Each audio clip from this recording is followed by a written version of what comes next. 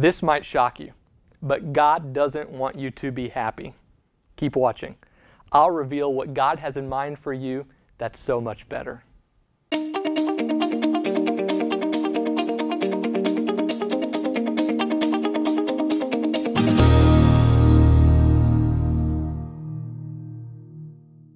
The pursuit of happiness seems to be the North Star that guides so many of us today. Think about its power. We enter into relationships because they make us feel happy. Most of our ambitions are driven by the idea that accomplishing a certain goal, whether fame, fortune, or something else, will make us happy.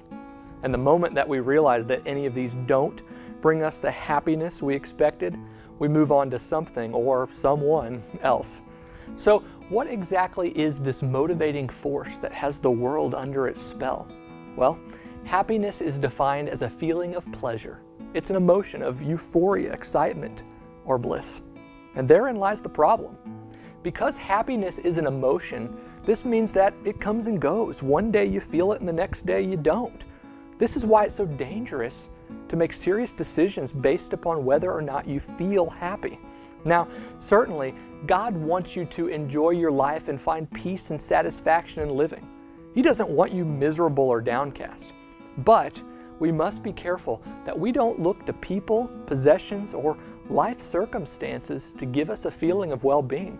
Your spouse was never intended to make you feel good all the time.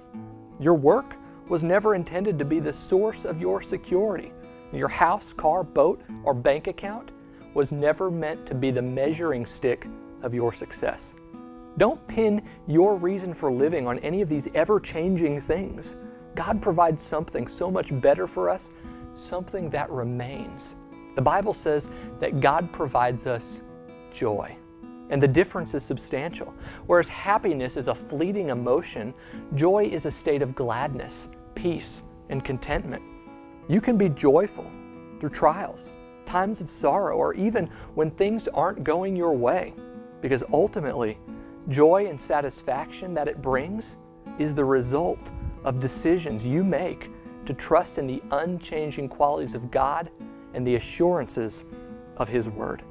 Here's a word of victory to help you cultivate joy in your life.